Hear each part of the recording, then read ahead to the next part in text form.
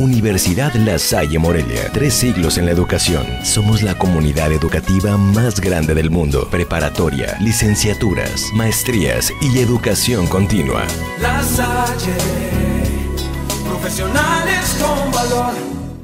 Los operativos de seguridad que se han realizado durante el presente año en Michoacán han permitido llevar a la entidad al lugar 25 a nivel nacional en incidencias delictivas declaró el comisionado para la Seguridad y el Desarrollo Integral de Michoacán, Alfredo Castillo Cervantes. Eh, estos son avances, son avances importantes, pero eh, no es un tema, el tema de la seguridad jamás lo podrás dar como concluido.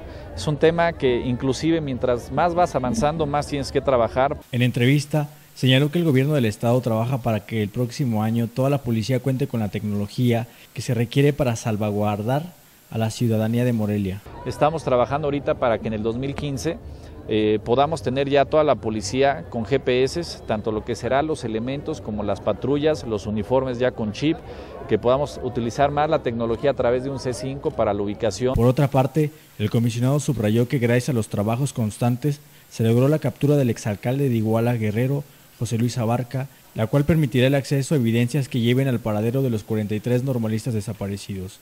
Para Cuasar TV, Héctor Moreno.